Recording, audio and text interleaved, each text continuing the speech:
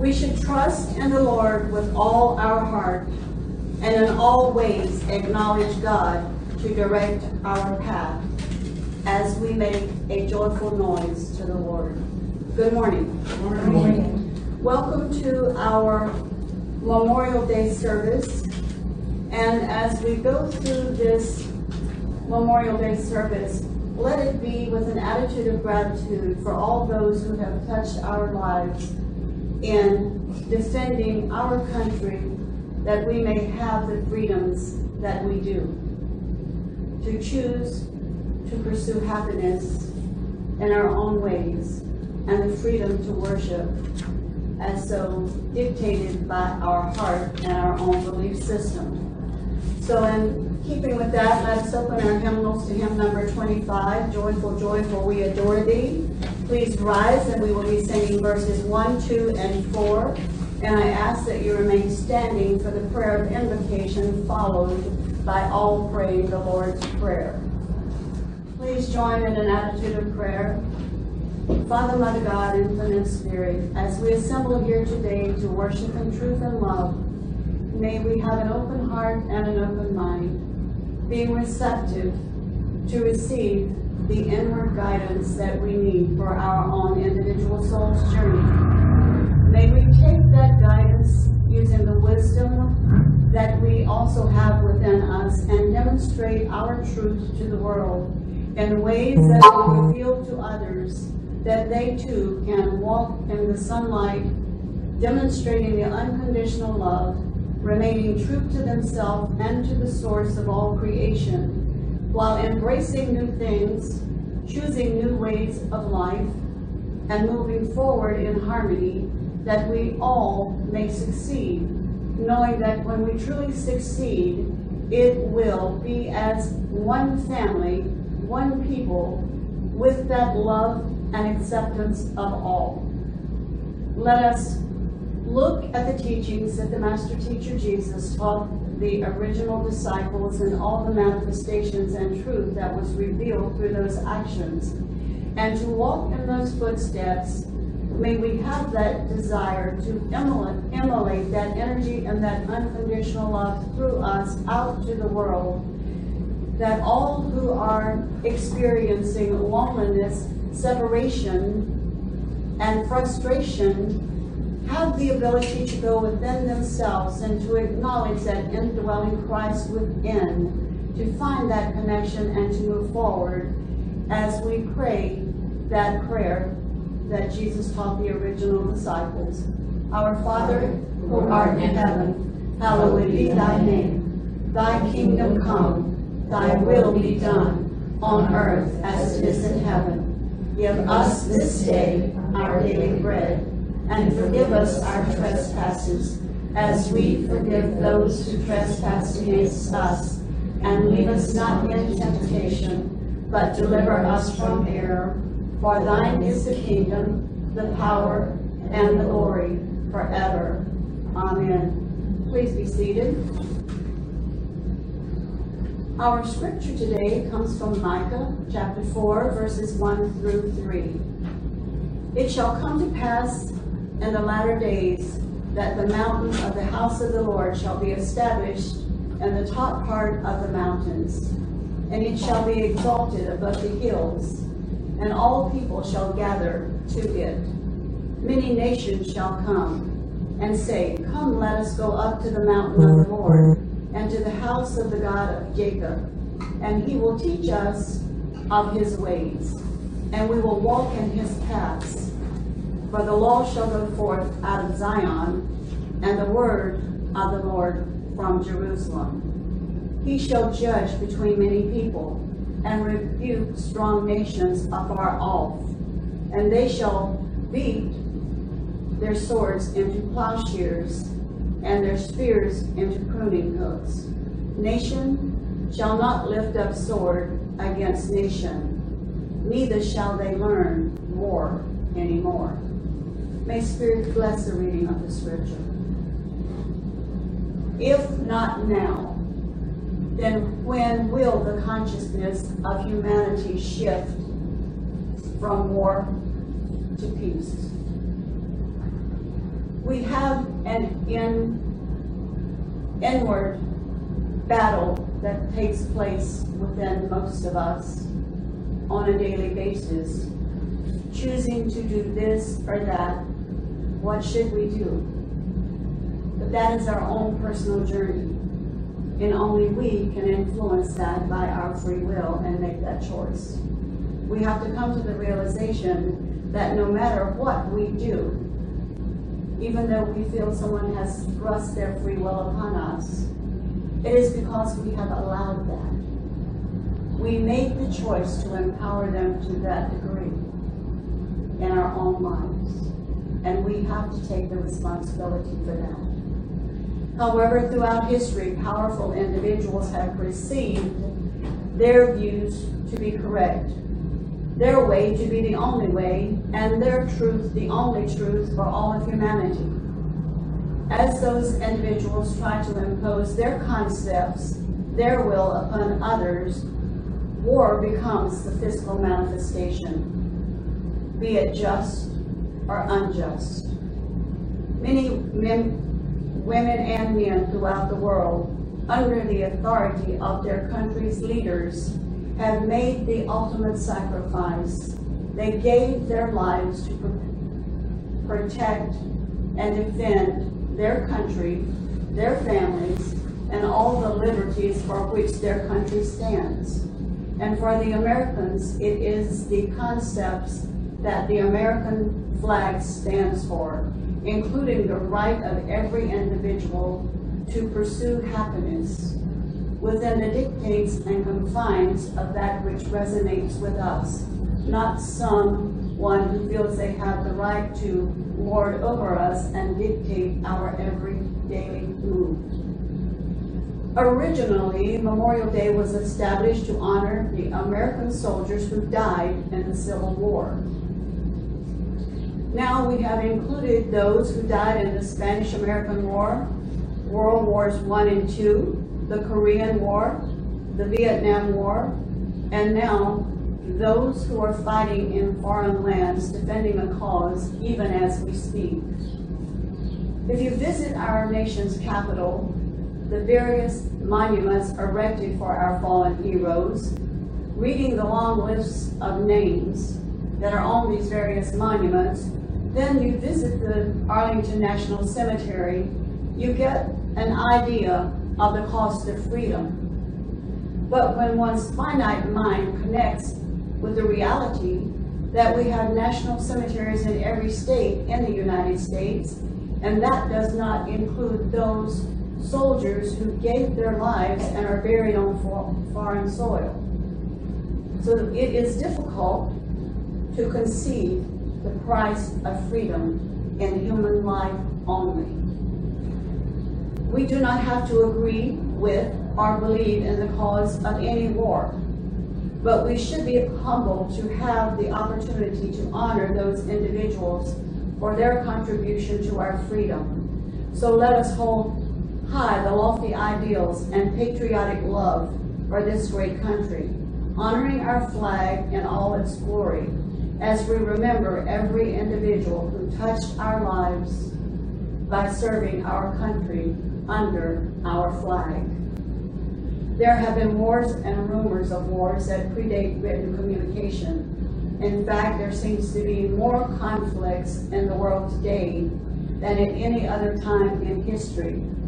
Yet we are no closer to world peace than when the first war actually began. Lasting peace will never come to a world that thinks it has a choice only between war and peace. The only choice we ever really make is between truth and illusion. When we choose truth, we discover that peace is always present, regardless of whether we are aware of it or not. Once there was a king who offered a prize to the artisan who lived in his country that could paint the best picture that would depict peace. Many artists tried, and the king looked at all of the paintings, and he narrowed it down to two that he liked.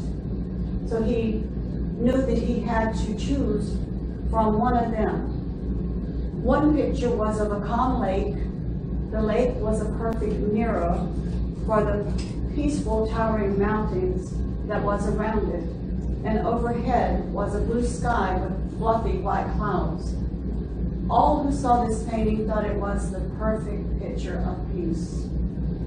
The second picture had mountains, but they were ragged and bare. Above was an angry sky from which rain fell and in which lightning played. Down the side of the mountain tumbled a foaming waterfall, which did not look peaceful at all. When the king looked farther, he saw behind the waterfall a tiny little brush that was growing in a crack in the rock. In that brush, a mother bird had made her nest, and there she sat on that nest. She was the perfect picture of peace, regardless of what was transpiring in the world around her.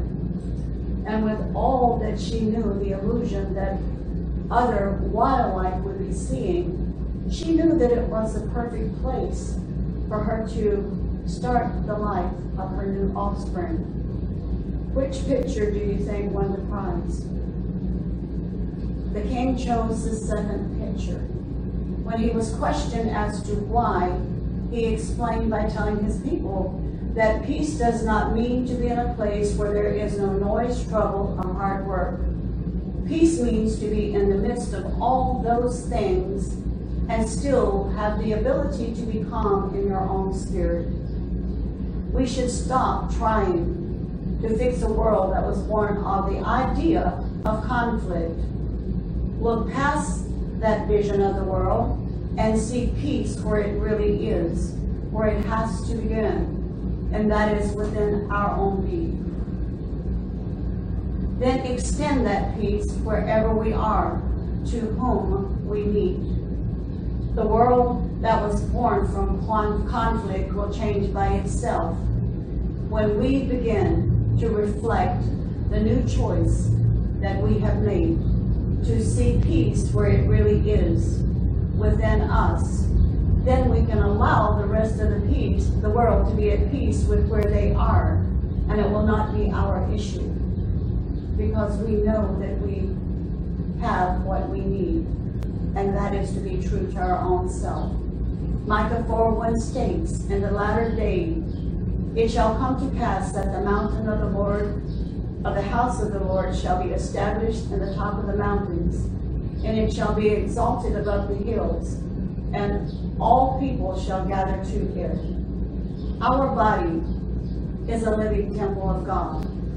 The mountains are the higher brain centers with the top of the mountains being this spiritual brain and the apex of the cranium. When we cultivate spiritual thoughts, the apex of the brain is exalted above the hills, the surrounding areas of the brain, and our whole consciousness flows into that area of the brain. Jacob is a Hebrew word meaning catcher, supplanter, leaving behind, bringing to an end, recompensing, and rewarding. Historically, Jacob and Esau are the twin sons of Isaac and Rebekah. Spiritually, Jacob and Esau represent the physical and the spiritual aspects of our being, are the mental and the animal conscious that, consciousness that exists within each of us. Esau, the hairy man, typifies the animal which comes first into expression because we need to learn to live and to survive in the physical world before we can develop spiritually.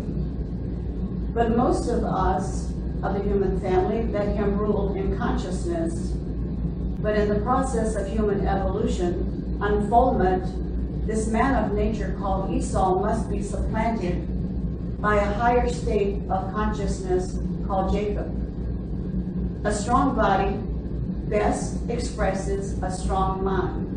That is the divine plan. The natural man is first in mankind's evolution. then that which is spiritual. We should not be weaklings, physically or mentally, if our minds are to enter the higher states of consciousness.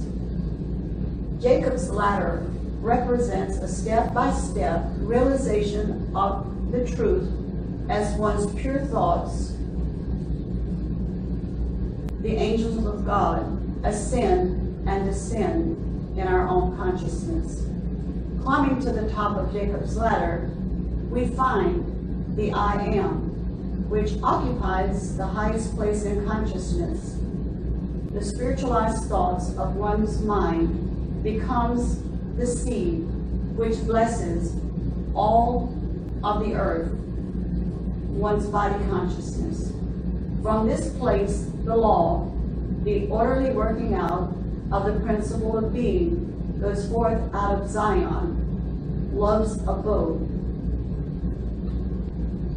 the subjective consciousness, where high holy thoughts and ideals abide. And the word of the Lord shall go forth from Jerusalem, which in mankind is the abiding consciousness of spiritual peace, and is the result of the individual's continuous realization of his or her own spiritual power, tempered with poise and spiritual confidence. Jerusalem, the city of David, located in the physical body, is the great nerve center located at the back of the heart. From this center, our spirit sends its seeds, our thoughts, to all parts of our body, then out into the world and humanity according to the law. The inherent power and intelligence known as intent in the idea causes it to act or to express the, and the physical manifestation becomes visible. I'm going to share two situations with you, and I want you to look at the inherent power and intelligence, which is known as the intent in each situation. The first situation is called flying high. 15 minutes into a flight from Kansas City to Toronto, um, Canada, the captain announced, Ladies and gentlemen, one of our engines has failed. Yet there is no need to worry about our flight. We will only take about one hour longer, and then he added, we still have three engines left, so we're in good shape.